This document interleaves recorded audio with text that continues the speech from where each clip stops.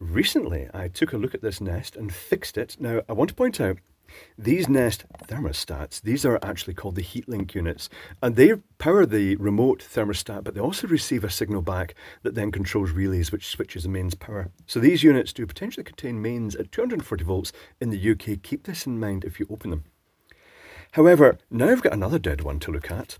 Um, I can check some things out. Is it the same fault that's happened? Is it uh, has it got the same arrangement of two different capacitors? I'm going to take a look inside and see that. But it turns out that there's a very simple test you can do to check if it is the 12 volt power supply that's failed. If you loosen this screw in the bottom, it can be done while the unit is in situ. Uh, and you just loosen it and lift the lid up like this. It reveals the electrical connections and a USB port. Now, it's worth mentioning at this point in time that if you're not used to working with mains electricity, you should turn the power off before taking the cover off. Um, for an electrician, it'd be quite useful to probe in there and see if it was getting 240 in the first place. But um, as I say, turn the power off to the heating.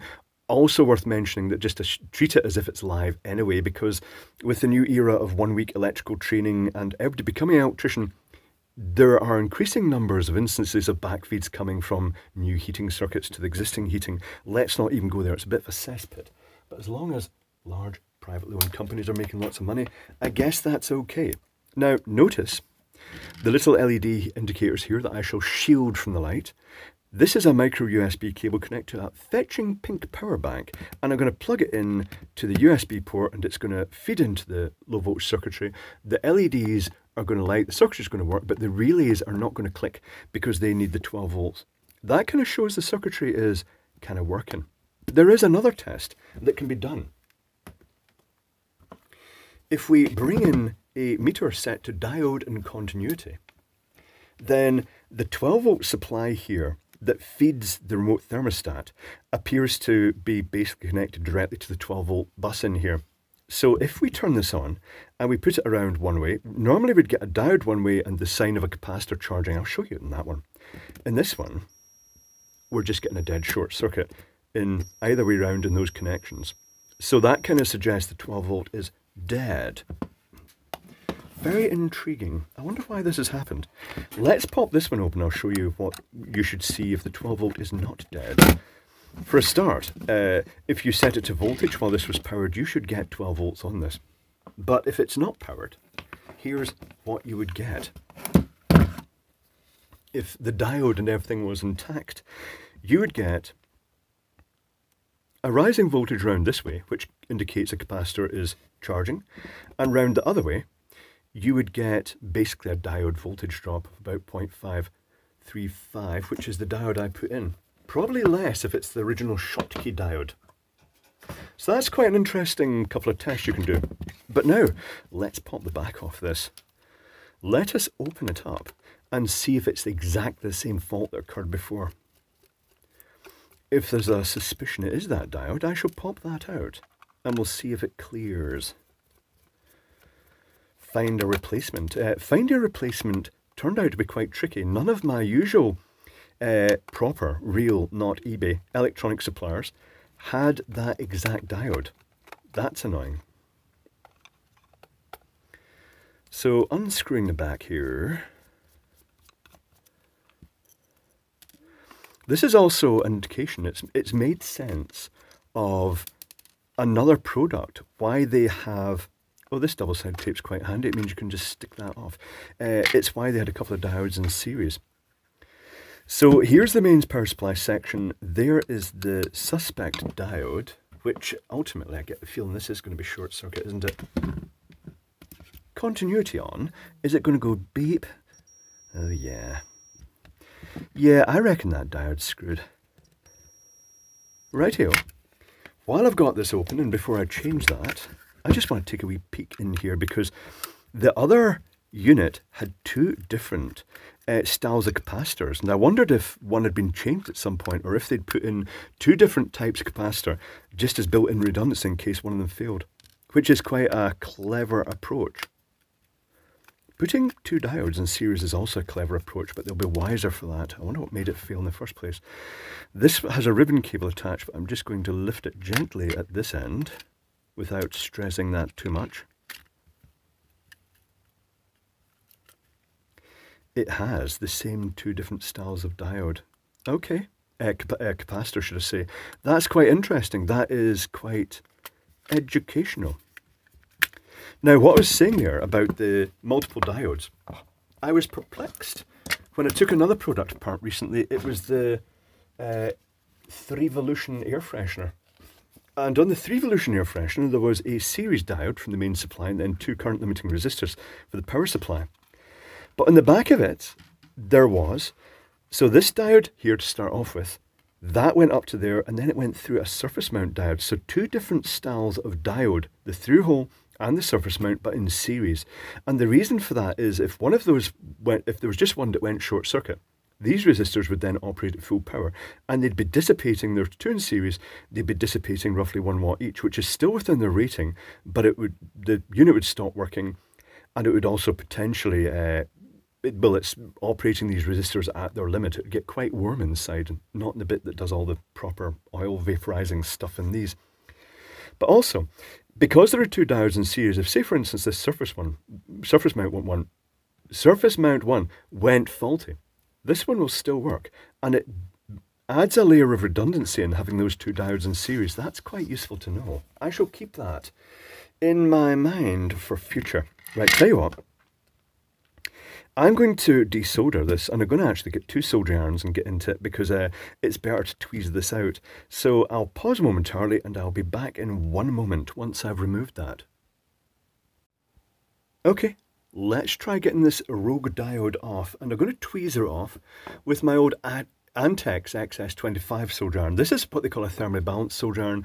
It puts 25 watts on, no temperature control. It's all based on the size, the mass of the bit, what temperature it gets to. So I'm going to use that one side of this component because it's very difficult to solder owing to the fact it's got a huge heatsink pad underneath it. And the other side, I'm going to use another solder iron. I'm going to try and tweezer it off. This may not go to plan. Uh, I've already wetted the pads. I know that the one on the left is just going to be so... There it goes. Oh, that wasn't too bad, was it? Oh, I dropped it. Oh, no. it's kind of worked. Right, get off. There's that pesky pad underneath. See that shiny area underneath? That is annoying. Do you know, it's disappointing. It looks as though they've made an effort to use a decent diode and it's just let them down. Such a shame. I don't blame the designer for this problem at all. I wonder if part of the problem is the fact that that 12 volts goes out to external circuitry. I wonder if it's an ESD thing, but I'm not really sure. Very hard to say. Right, I'm going to uh, just go and grab another diode and then try soldering it on there. One moment, please.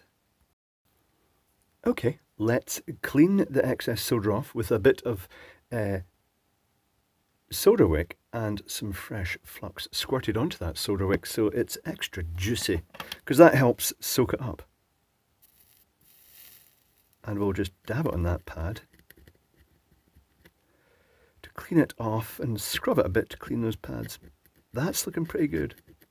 Now, diodes. I ordered the closest I could get 3 amp 60 volt diodes. This one is comically huge. This one is a SS36 Shame, really memorable name, but it's actually just too big for this. This one is just grim. It's called PMEG6030EP, but it's just marked AB and is just a bit squirmily small for that. The one that won my choice, whether it's suitable or not, is the B360B, which does fit in fairly well, but it's quite a deep diode. Right, so what I'm going to do, I'm going to flow some solder onto here, and then I'm going to reflow it and sit the diode onto that, holding it with tweezers, and I'm going to make sure I put it on the right way around. That would be really, really good. Uh, I have got my Big Daddy solder iron here, my Antex on, I'm just trying to actually not touch it with my, get burnt off it. right, tell you what, so I'm going to sit that diode up, make sure that the little lines are going the right way. You can probably see this better than me. Yeah, that looks like it's going the right way. If it didn't, it, the power supply just wouldn't be happy again. Uh, it wouldn't harm it, but it would just not be happy. It wouldn't actually boot up properly. So I'm going to reflow those while pressing down. I think I might just do this with my fingers, to be honest. This is probably a bad idea. Big clumsy bear that I am. But anyway, I shall attempt to. No, this is. See, surface mount is a curse for people my size. Right, tell you what. Mm-hmm. Right, that's uh, that's promise. I can see solder flowing. Right, that's pretty good. That's pretty good. You're going to have to excuse any clumsiness here. It's just because, well, big fingers. So I'm going to move that over there so I can get the other side sorted. Now, I'll come back to this side after I've done the other side because uh, it will need reflowed. I'm going to use the Antex other side because it's got a bit more oomph and there's that huge solder pad underneath. So I'm going to flow some solder in using the Antex. And it is a, one of those components that is the lead folded round underneath. So it should theoretically flow and do a decent job on that heatsink, the heatsink pad underneath. And then coming back to the side, I'm just going to reflow this again. And add a bit of fresh solder so there's plenty of flux. And that will hopefully be it. Right, I'm going to unplug the solder iron before I burn myself. And I'm going to let that cool down. I'm going to hook up the mains to it and then we can see if it works. One moment, please. Okay, I've not plugged it in yet. I thought we'd share the moment together just in case it explodes. It always makes good entertainment, so I'm plug it in now. Relays click. The unit is back, working again. This is good. Right, I don't know if that's the ideal diode for that. It's got a slightly lower voltage rate than the previous one, but it is supposed to only be exposed to 12 volts-ish. But anyway, it is the 3 amp although I kind of doubt it's uh, the size always makes me squirm, these 10 little 3 amp diodes. However, the band of it, I should have mentioned, is pointing towards this processor type chip. It's not a processor, so I'm not sure that is. But that big chip, the little band on it, uh, on the diode is pointing over to that way. It also goes towards the uh, the biggest, the hardest pad to solder. Look at all the flux around that. I should clean that off, shouldn't I? Yes, I should. But anyway, I'm going to put this back together and that will be it fixed. So that uh, diode I used was the, the one that fitted was a B360B. Uh, it's order number from CPC, if it's even the right one. I'm, I'm not taking liability for this because, uh, you know, I don't want to say everybody swap them for this. Um, but it's SC17585. Uh, I was quite happy, to be honest. It was an easier repair using the uh, leaded diode, the one that I just went onto this pin of the transformer and over to the large pad. But I'm not sure what current the external unit actually draws from this. I don't think it's going to be a huge amount. I don't think unit is actually going to be anything remotely near an amp total. But uh, that is it. So, yeah, that's that's a fix, I guess. I suppose I could give it back and they could try it and see how long it lasts. But that's strange, so disappointing that a reasonably good looking design has been let down by by such a thing as a diode. And it does show you there is space in the vicinity there. They could have put two diodes in series possibly um, and actually alleviated that problem because if one of them had gone short circuit, the other one would potentially have kept the party going until it went short circuit, but then that would have halved the number of returns. But there we go. That is it fixed.